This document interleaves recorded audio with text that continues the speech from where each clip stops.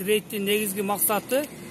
азыркы учурда эки миң он сегизинчи жылдын жыйырма сегизинчи февралынан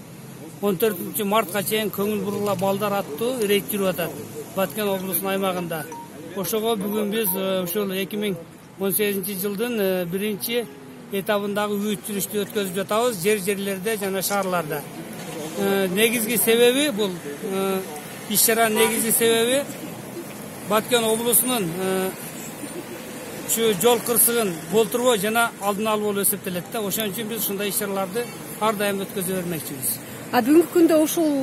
мына үстүбүздөгү жыл ичинде канча жол кырсыктары катталды азыр ушул күнгө чейин баткен облусунун аймагында жаш өспүрүмдөр арасында он жол кырсыгы катталып он жаш өспүрүм ар кандай жаракаттарды алып ооруканаларга кайрылышкан ошон үчүн биз ушундай иш чараларды өткөзүп жатабыз